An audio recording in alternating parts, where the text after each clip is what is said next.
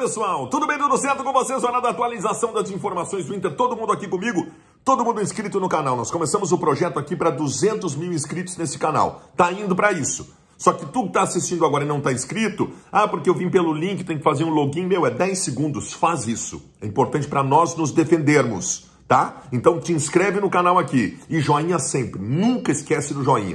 Solta a vinheta.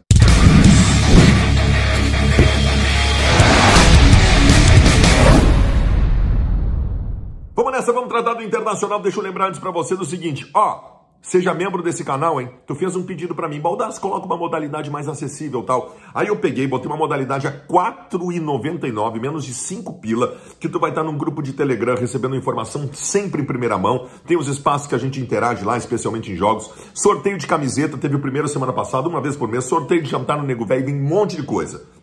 Agora, eu te faço o pedido, né? Seja membro. Aqui na descrição do meu vídeo tem um linkzinho direto, tu vai ali e vai ser membro, tá bom? Gente, só para recuperar rapidamente. Ontem foi um bafafá, se disse durante a tarde, quando se marcou uma reunião na Federação Gaúcha de Futebol, em que o presidente da federação conversou por teleconferência com os presidentes dos clubes, se levantou a possibilidade de encerrar o gauchão e que a reunião fosse para isso. A reunião não era para isso, mas isso foi colocado em votação e todos os clubes votaram de forma unânime por continuar o Campeonato Gaúcho. Em Caxias, o Internacional joga quarta-feira, às nove e meia da noite, Estádio Centenário, contra, contra o Grêmio, transmissão ao vivo da RBS TV. E, e, e, por enquanto é isso. O Inter tentou levar para Novo Hamburgo, não conseguiu. Porque Novo Hamburgo vetou o futebol lá ontem à tarde. Uma balbúrdia, uma bagunça do poder público que não se conversou sobre o assunto. O futebol foi tratado como um lixo. Essa é a verdade. Uh, para o clássico Grenal, o Internacional não deve ter o Galhardo. O Galhardo tem, foi vetado pelo departamento médico em determinado momento semana passada, se fala em gripe e tal, até, até se levantou uma suspeita de Covid. Todos negam, diz que foi uma, uma gripe muito forte que ele passou, que não conseguiu treinar e por isso está fora do clássico. E aí as pessoas pensam o seguinte: bom, não joga o Galhardo, joga o D'Alessandro. Porque o, o D'Alessandro saiu do time para entrar o Galhardo. Eu não tenho essa convicção. Eu não tenho essa certeza, não acho isso tão lógico e tão óbvio assim. Porque o Galhardo ter ganho o lugar de D'Alessandro no time foi justamente por uma mudança de característica do time. Que se voltar o D'Alessandro, volta a característica anterior. Né? Então eu acho, por exemplo, mais possível entrar o Potker no lugar do Galhardo do que o D'Alessandro. Acho mais possível o Potker do que o D'Alessandro. Vamos ver o que, que vai acontecer. Agora, me parece um prejuízo importante não ter o Galhardo.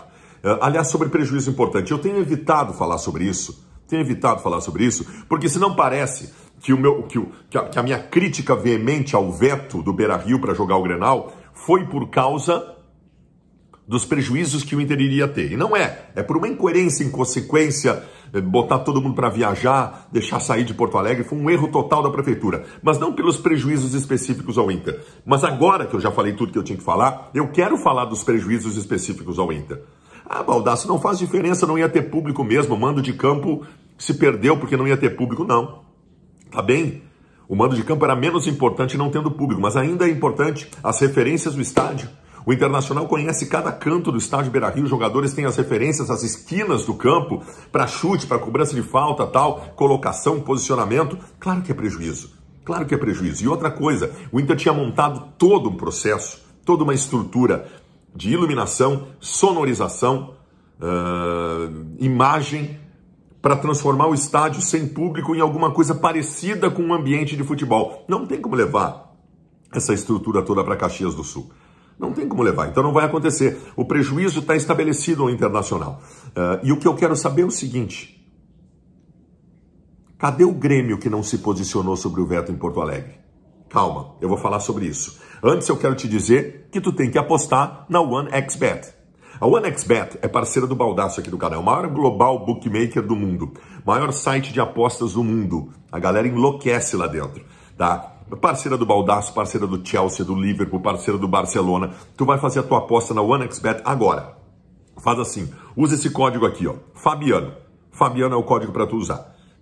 Tu vai fazer a tua aposta no link que está no meu primeiro comentário aqui. Primeiro comentário dessa postagem tem o um link. Tu aposta no OneXBet. Usando esse código, sendo tua primeira aposta, tu vai receber até 10 dólares de reembolso se tu perder a aposta.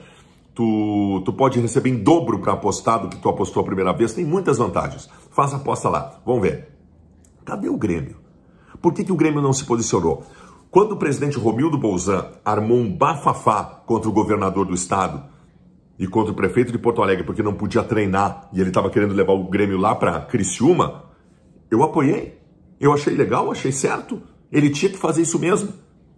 Mas por que, que ele sumiu agora? Por que, que ele sumiu agora?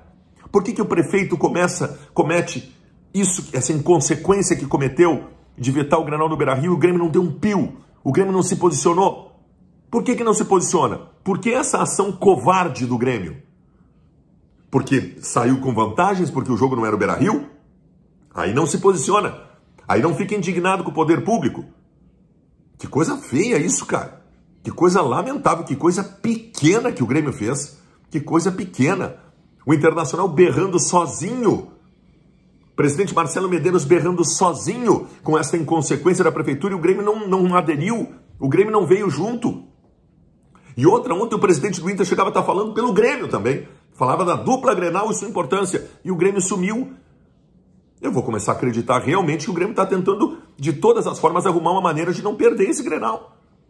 Tava fugindo já, já estava fugindo, não queria Grenal na primeira rodada na volta. Agora desaparece quando o Grenal sai do Beira-Rio, porque é vantagem para ele Grêmio.